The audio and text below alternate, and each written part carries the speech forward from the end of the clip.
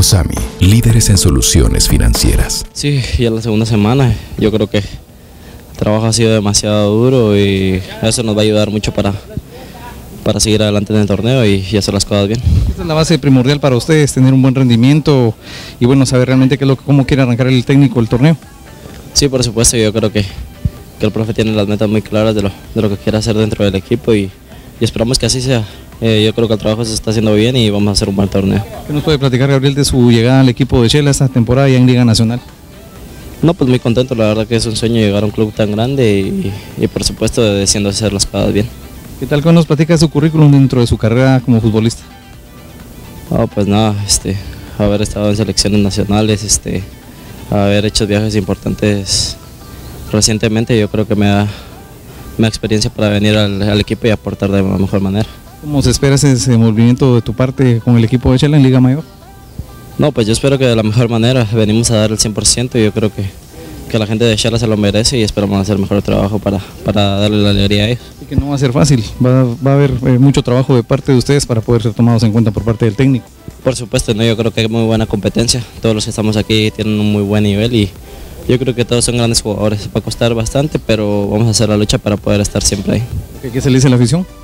Nada, que, estén tranquilos, vamos a hacer un buen torneo y vamos a dar todo por la camisola, que, que es lo que siempre se trata de hacer. Bueno, creo que estamos trabajando de la mejor manera, estamos trabajando fuertes para llegar bien a la primera fecha y durante todo el torneo estar bien físicamente, mentalmente bien y luchar por el objetivo que es quedar campeones, ¿verdad? Hablemos sobre los trabajos que se han realizado esta segunda semana.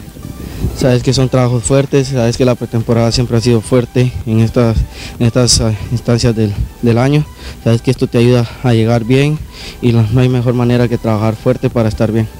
Bueno, creo que nos hemos sentido bien, eh, estamos agarrando físicamente muy bien, creo que vamos ahí paso a paso, sabes que como te vuelvo a repetir, si quieres estar bien durante el torneo tenés que trabajar fuerte en esto y creo que eso estamos haciendo.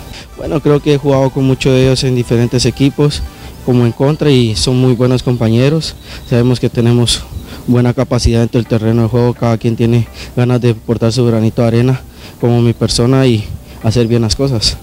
Sí, bueno, creo que vamos a hacer un entrenamiento interescuadras, el profe sabrá lo que, lo que quiera y y lo que quiere de nosotros y nosotros nada más estar a disposición de él. Bueno, buen día antes que nada, este, bien, la verdad que contento de, poder compartir esta semana con, todos los compañeros juntos este, en un lugar, haciendo un buen trabajo, que esperemos que dé su fruto, que, la verdad nos hacía falta, ya, ya teníamos que, tener un trabajo físico de esto, cada uno de nosotros, así que esperemos que en lo grupal podamos, podamos hacerlo de buena manera. ¿no? Y un, bastante arena, bastante potencia. El primer día hicimos 10 kilómetros en la arena, donde cuesta bastante. Fue un trabajo bastante fuerte. Ya el segundo día un poquito de potencia. La verdad que estuvo, estuvo bueno, estuvo lindo para, para adquirir un poco de carga para, para llegar bien al torneo, que falta un mes todavía para poder soltarlo. ¿no?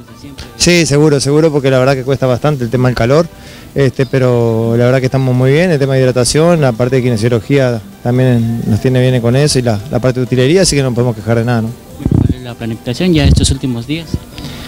Ya esta tarde vamos a Reu a, hacer un poco de fútbol, mañana en la mañana entrenamos aquí, ya nos vamos a, a, Yela para ya armar nuestro búnker de trabajo ahí. He trabajado durante 15 años en mi negocio de comida y soy madre de dos hijas.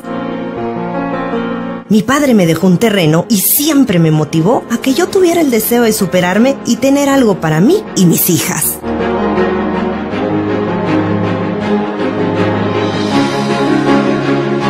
Día, un asesor de COSAMI me visitó en mi local y me dijo que yo podía aplicar a un préstamo para alcanzar mis metas.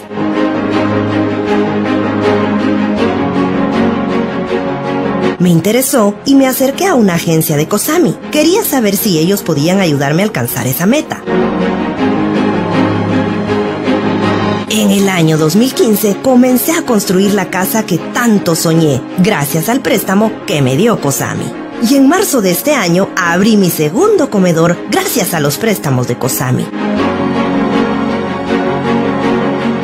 Pero mi padre me enseñó a ser siempre precavida y cuidar a mi familia. Por ello, estoy tranquila, porque si algún día yo les llegara a faltar, mi familia no hereda deudas, ya que en COSAMI tengo el beneficio de un seguro que me cubre hasta 300 mil quetzales. Por eso estoy segura que solo en COSAMI encontré el préstamo que sí ayuda.